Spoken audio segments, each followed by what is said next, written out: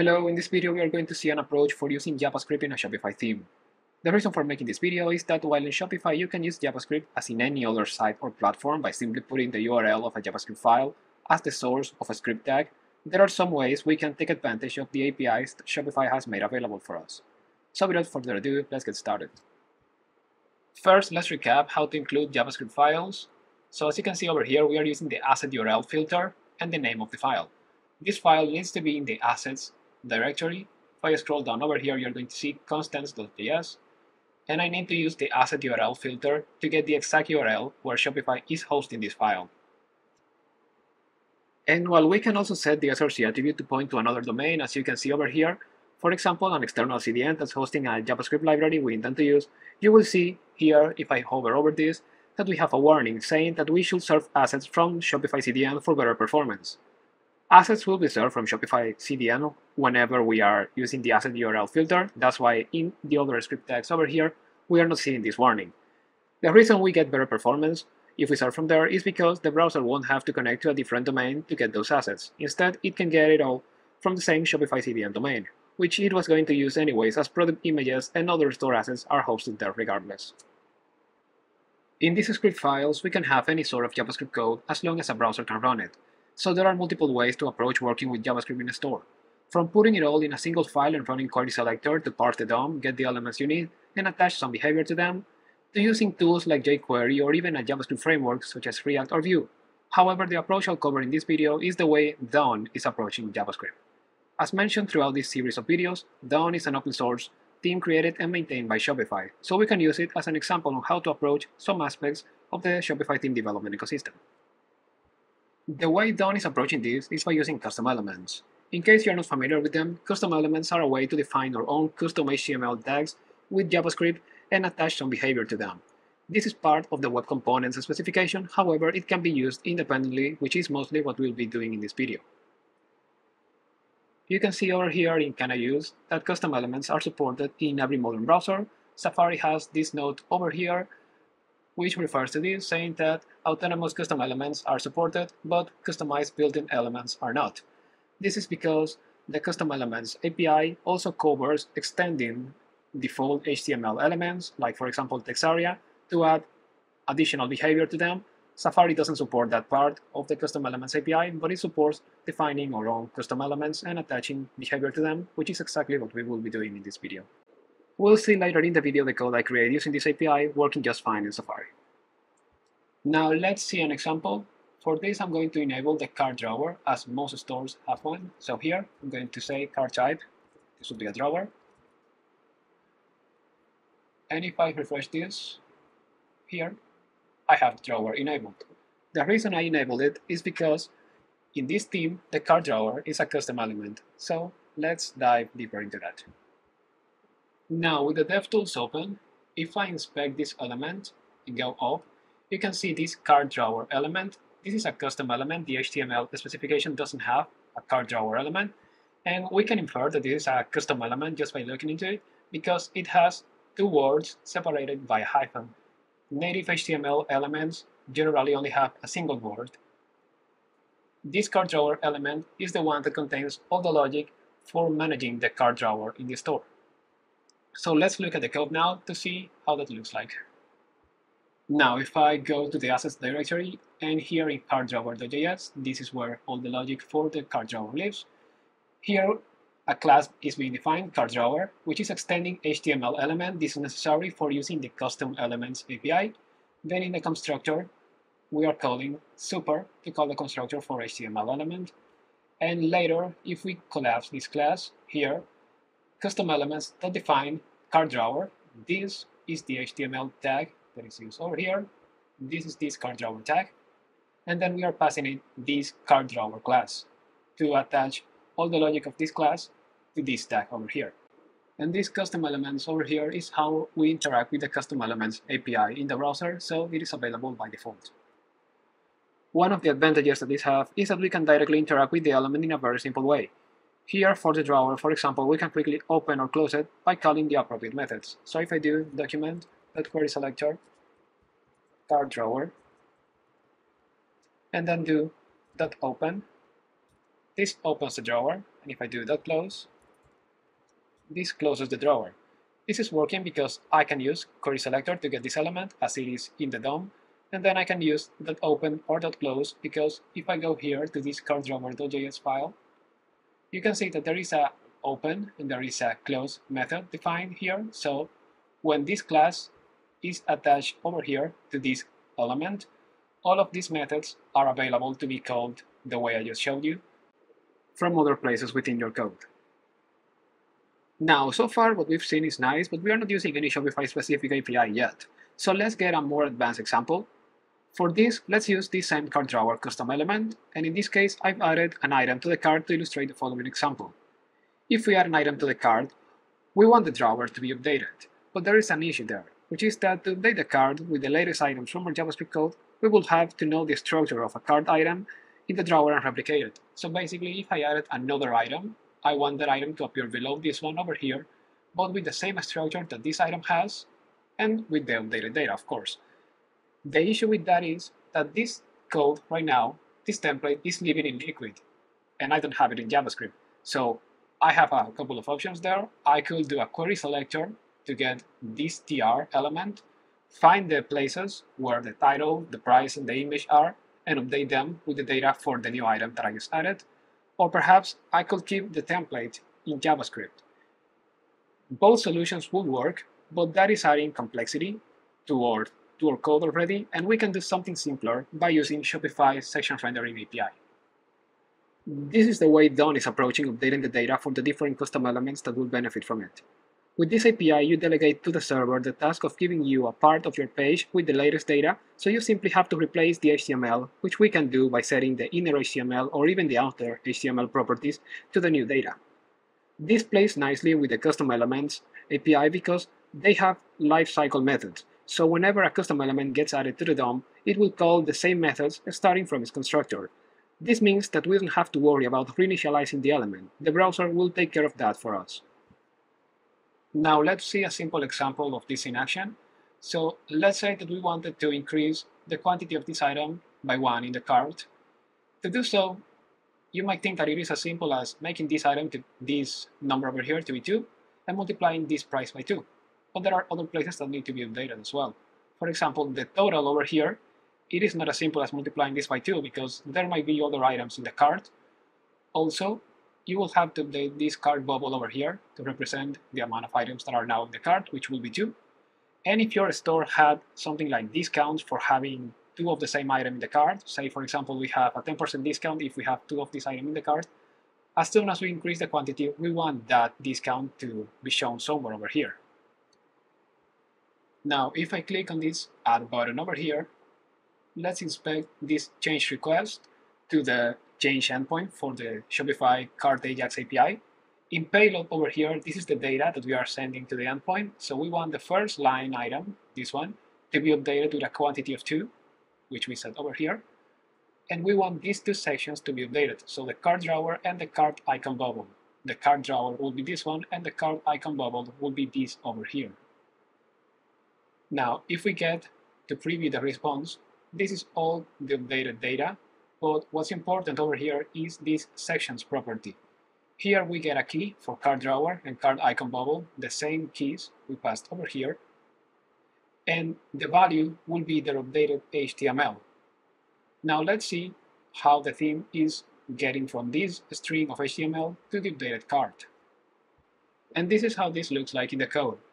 So here we have this quantity input custom element, and in the constructor we are doing a query selector all for all the button elements. Note that here we are doing this.query selector all instead of document.query selector all. By doing this.query selector all, we are making sure that the query selector is scoped to the elements inside of this custom element over here, because quantity input is a custom element, so that query selector all will only return this minus button and this plus button over here. Then to each one of those buttons, we are attaching a click event listener and calling this onButtonClick method when the button is clicked. Then here, depending on the target name, we are increasing or decreasing the value of this input by calling the step up or step down method of the input respectively. So the input will be this one over here. And then we are going to be dispatching a change event, which will be defined over here. The change event we are dispatching is this one. Then over here, you're going to see that we have this cart drawer items custom element, which is just targeting the items in the card, not the full cart drawer, which we saw earlier. And if we look for the code of this in cartdrawer.js, we are going to see that it is very short because it is extending from cart items, which is a custom element already created. So the only thing this is doing is updating the sections that need to be re-rendered because the regular cart items is for the card page and the cart drawer items is for the drawer. So the sections have slightly different IDs. Anyways, if we go to cart.js, this is where cart drawer is defined. And this one will be this custom element. It is a pretty long one with over 200 lines, but we are interested in this add event listener line for the change event because this is the event that is emitted over here from quantity input. And as you can see over here in the HTML structure, quantity input is inside of cart drawer items. Therefore, when the change event is emitted, cart drawer items can't catch that event because the event will bubble up. So then if we look for this debounce on change, it will be over here. It is debouncing this on change method because we don't want to update the UI right away as the customer might click on the plus or minus button multiple times. If we go now to the onChange method, it is calling this update quantity. So all of these values that it is getting from, from the event are line, quantity, name, and variant ID, which it is grabbing from all of these properties. And here is where we are building the request. We saw all of this a moment ago, so line and quantity, sections, which are the sections that we want to re-render, and section URL, which is just the page we are calling this from. The get sections to render is the method that got extended when we extended this class. So get sections to render now will return this array over here instead of the one that is defined over here because these are the sections to re-render for the card page and these are the sections to re-render for the cart drawer. Anyways, from this, we are mapping this to get section.sections, which is the section identifier. The identifier will be the file name. So if we look for cart drawer in sections, we're going to see this is the file that will get re-rendered for this section. And the same will happen for card icon bubble. You can see that there is a section. This is the section that will be re-rendered for this cart icon bubble over here. Now, over here for the response, which we get here, we are parsing this and then we are running some validations, but the interesting part happens over here. So we get once again this sections to render array, and we go for every section, we are going to get it from the DOM, so we first get the ID and then the selection, the selector within that section for the element we wish to replace. So we get get element by ID of the section.id, this property over here, and then we do a query selector within that to get this section selector. Or if that is not available, then we just get the whole section by doing section.getElement by ID. Then over here, this gets element to replace, and then we replace the inner HTML of this element we just got with the result that we got from this.get section inner HTML, which if you see over here, what it is doing is that it is receiving the HTML we got from the response from the server, so that long string we saw a moment ago, and it is using the DOM parser API to create a proper DOM node with that HTML, and then returning that. I know this example wasn't the easiest one to follow, but hopefully now you saw what's possible by combining the Custom Elements Web API and the Shopify Sections Rendering API. This cart drawer items custom element has so much code because it is taking into consideration things like an empty state, accessibility, validation errors, and more. So even if we build this with something like Vue, that might simplify things, there's some unavoidable level of complexity to build a production-grade component that handles this interaction for an e-commerce site. The theme is open source, so feel free to dive into the code for that custom element to further understand what it is doing. We are now going to build our own custom element that will use the section rendering API to see a simpler example of this in action. So the section we're going to be building is one that loads all the products in the store, but that loads them a batch at a time. So for this, let's create a section over here. Let's call this all products, liquid, for example. Let's quickly get a schema. The name will be all products. we will have settings, is a single one of type number. The ID will be products per row and the label will be products per row. Then we're going to do here presets, so it shows in the editor. And we'll add here all products. Then let's print this value, so section dot settings dot products per row. And let's save this. And now let's open the editor and add this section to the page. So I'll click on this.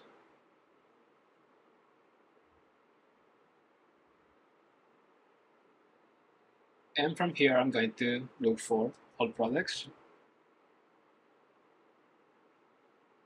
Here it is. And let's say we want to display three products per row. Uh, let's move this section to the top. And let's save this if I refresh this here, I have my section showing at the top. So now let's start building this. I'm going to be adding all the CSS and JavaScript into this liquid file while building this and then in the end I'm going to move them each one to their own file. So let's add a div here. Let's give it a class of page width which works in this theme as a container. So this is what will keep the content from going to the edges of the screen and instead be nicely aligned as the other sections in the page. So let's move this here for now and see what we get. Here we, we have this aligned. Next, let's create here our custom element, so all products and all products over here. We are going to have here a div this will have a class of grid. And then here we're going to have a button with a class of button. And we are going to give it a load more text. We can remove this for now, or get out of this. And let's see what we have. We have the button, so far it is doing nothing. But then I'm going to command this line over here. Let's start loading the products. So for this, I'm going to do. For product in collections dot all dot products. And let's give it a limit of let's copy this value from here paste it here and end for and now I'm going to do render card product and for product I'm just going to pass it. Product actually this should be card product because that's the name of the parameter that this snippet expects so if I go to now card product this is the snippet that we are rendering and this is this over here. Now this is not looking that good but we can style this to make it look something better. So let's do. All products dot grid. And this will have a display grid. And then here let's give it a grid template columns of repeat. 3 and 1 FR so we have three columns over here. Let's have now a gap of 16 pixels and let's see how this is looking. So here we have three items. We have an extra bracket at some point over here. Let's see if we can find it. So the issue we have is that this was malformed. This should be here between those tags.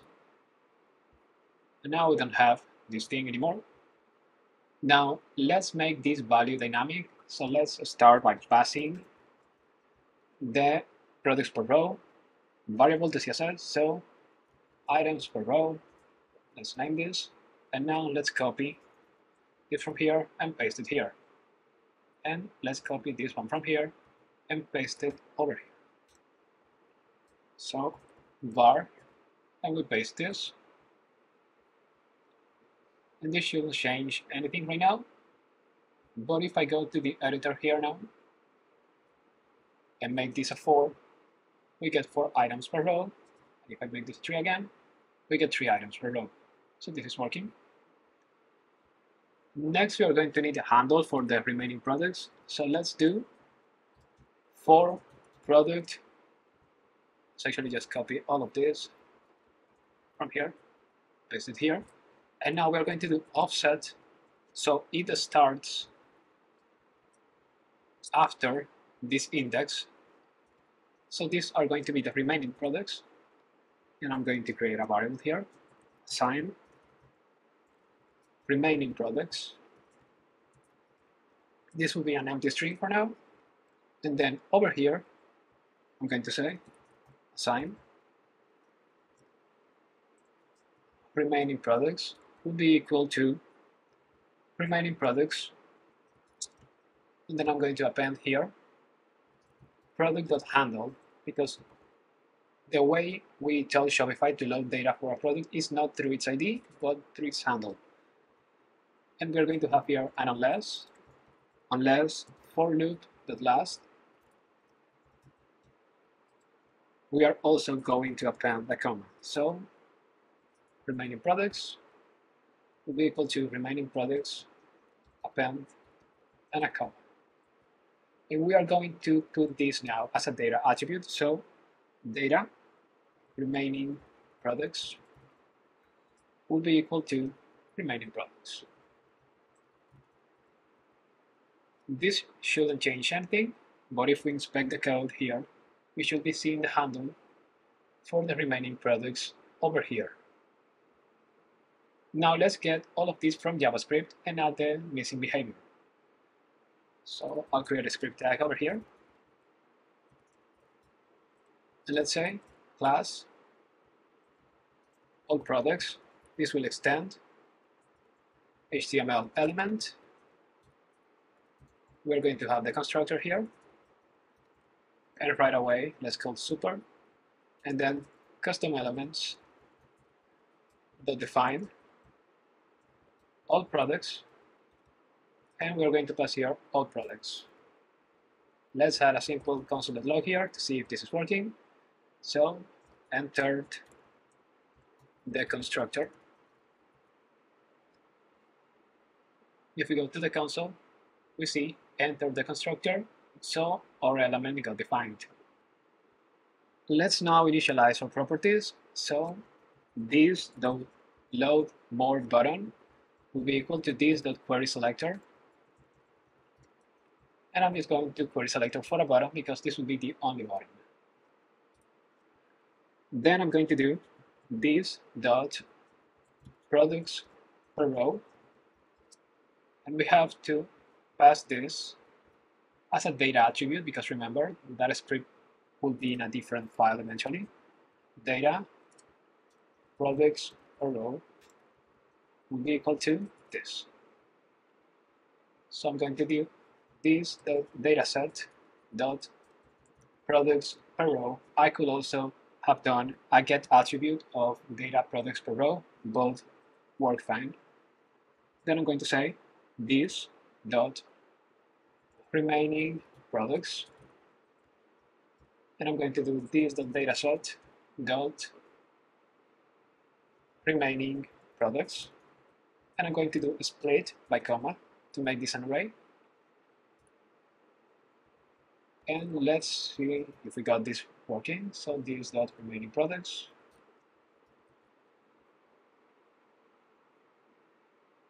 here we have the array Finally, we need the grid. So this dot grid will be equal to this dot query selector grid. Now to this dot load more button, we're going to add an event listener. So type here add event listener for click, and I'm going to do this dot load more products. I have to bind this so I can access this over here. in this function that I'm going, this function or method that I'm going to define over here, load more products. This should be asynchronous. And for now, let's just add a console log, loading more products. And verify that this is working. Here we have it. The approach we'll use to load the appropriate products per row is to keep track of the index we are at in this remaining products array. So let's start by creating a variable over here, index, this will be 0. And then from here, let's start using this. So let's remove this console log. Now let's do const products to load. This will be equal to this dot remaining products dot slice.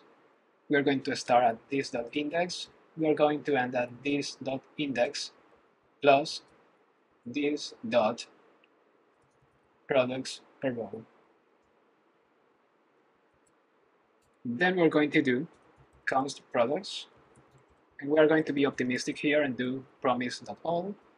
This will throw an error if any of these requests fail. So if you're if you are doing this in production, you should probably use all settled or something like that. But anyways, I'm going to do products to load dot map this will be asynchronous async product handle And then here I'm going to do response will be equal to await fetch we are going to do products. We need to pass the product handle here. Then we're going to say sections. We are going to render here card product. Then the data will be equal to response JSON and finally we're going to return data card product because we are rendering the card product section. Let's then print over here the value of products and see what we get. So if I click this, I get no, no, and no. That is because the card product section doesn't exist. We are going to fix this right now. So I'm going to create here card product dot liquid and here I'm going to render a snippet card product and the card product will be product.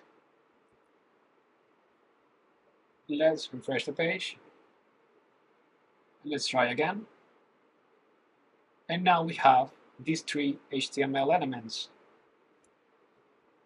So why did I have to do this? Well, this is the section rendering API, so it expects the name of a section. It's not able to render a snippet right now, however, we can work around that by creating a section that just calls that snippet. You can see that if I look for card product, it was a snippet, and now we also have a section with this same name where we are just calling this snippet and passing product as a card product. And where is this product here coming from? Well, if we go back to all products here, you can see that we are fetching the products page. And from the products page, we are rendering this section. So basically, the context from within this section will be rendered will be the product page. Therefore, the global product variable will be available containing the data for the product we are passing here as a handle. So what I can do now is products dot for each product and here I can do this dot grid dot inner HTML and I'm just going to add product. Then I'm going to say this dot index and I'm going to increase this by this products per row. Let's save this. And if I click on this, we get more products and we keep getting new products, although we seem to have a bug over here. That is because I need to do number dot parse int and turn this into a number instead of a string because when I do the distant dataset dot products per row, these values be received as a string. If I refresh the page now, I can load products, and you're going to see that now we are loading three at a time until we reach the end. Now, it would be nice if we could remove this load more button once we reach the end, so let's do that now. If this dot index is greater or equal than this dot remaining products dot length, then I'm going to do this dot load more button dot remove.